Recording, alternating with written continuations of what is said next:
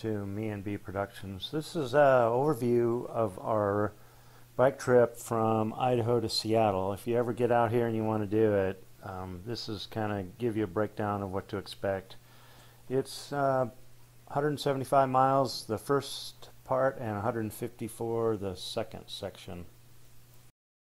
This Palouse to Cascades Trail Coalition Facebook page is a good resource to when you get started and you're trying to figure out what to do and that kind of thing. So go to their Facebook page. There's also some contacts in there and you can talk to some people and get more info about the trip.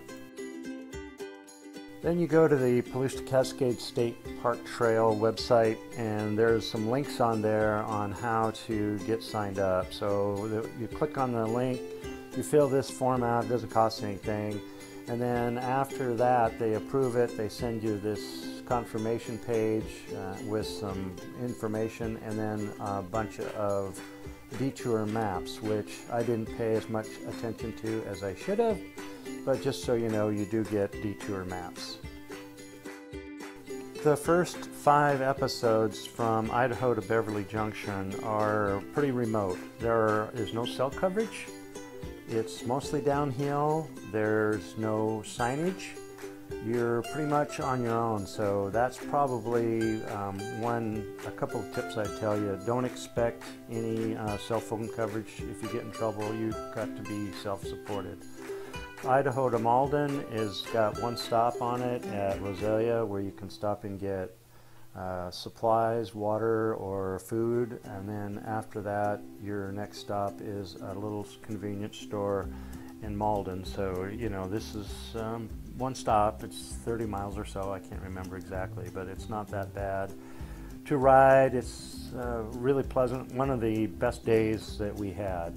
So, two from Malden to Revere you go, uh, there's a detour, and so you, it's not marked, so you've got to pay attention. I missed it again, and I ended up going along this rock lake, and there was a sketchy bridge and a tunnel I had to go through to get along Rock Lake, but pay attention for the detour. And then um, this, there's two detours on this route, and I, you know, I, I tried to stick to the trail the best I could, and so I ended up missing the detour.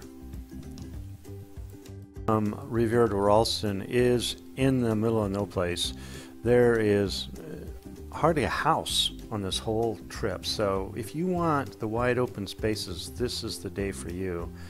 There is a detour here at Marengo, um, and I should have taken it. It does add quite a bit of mileage to the route, but it's really worth it. You don't have to go through this crazy canyon and uh, out in the middle of some farmer's uh, field.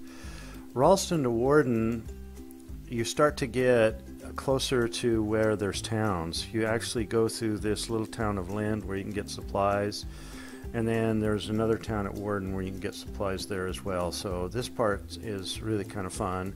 It's uh, very flat, uh, it's farmlands, and uh, again, it's wide open spaces, but at least there's uh, a couple of little towns where you can get supplies and that kind of thing if you need them.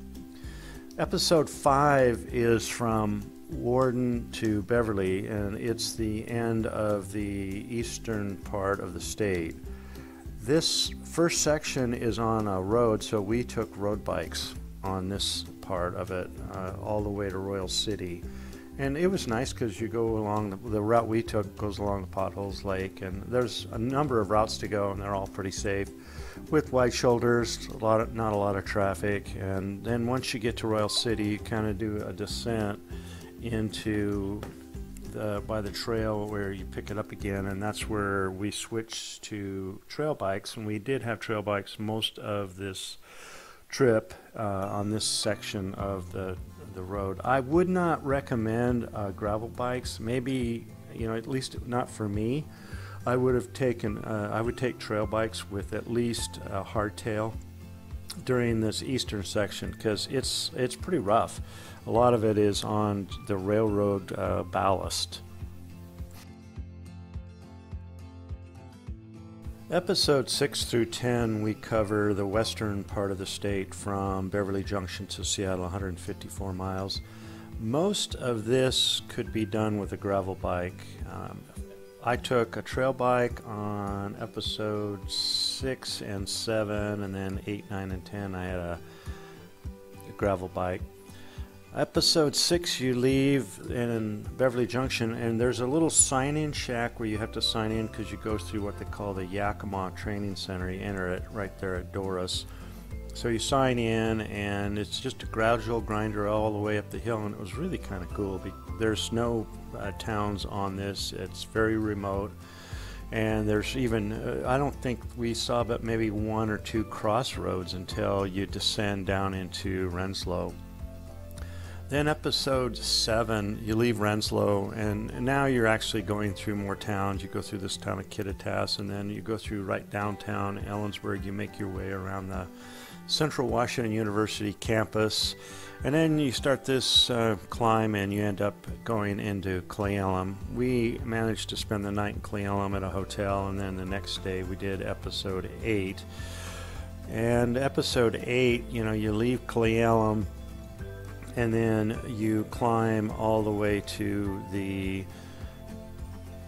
Hyak where you are at the top of Snoqualmie Pass and most of this route is along the 90. And it, it was uh, kind of neat because you actually start getting into the forest. And, uh, you know, it's a lot of neat uh, overpasses. And again, you, if you did it on a, on a gravel bike, you, you could. It wasn't really that hard or that tricky to get through it. Episode 9 from Hyak to Snoqualmie is the most popular. We saw the most bicyclists and hikers on this section. I, episode one through seven, we probably didn't see another bicyclist ever. And then uh, eight, nine, and ten, you start to see a few more. And this is just a gradual descent. You uh, finish up the Palouse to Cascades Trail, and then you jump on the Snoqualmie Valley Trail into Snoqualmie. Episode 10 is where we leave Snoqualmie, and you go through this. Uh, it's basically a trail, not any kind of a path. It's a, just a mountain bike trail, so it's pretty technical. And I fell off once going through it, but it wasn't a big deal.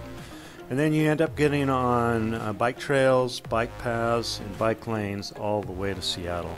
Go over the I 90 floating bridge, which is a real treat, and uh, head it right into downtown. It was very safe.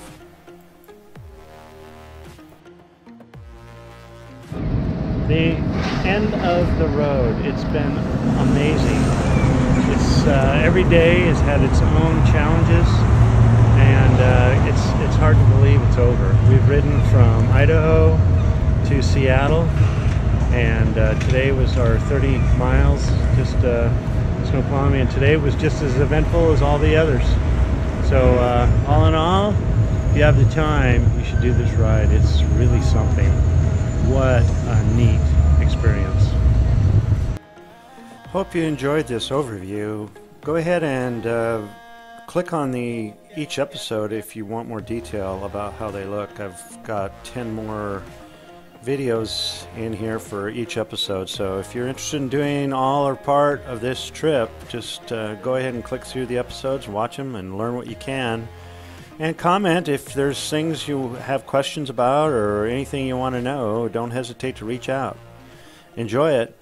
See you down the road.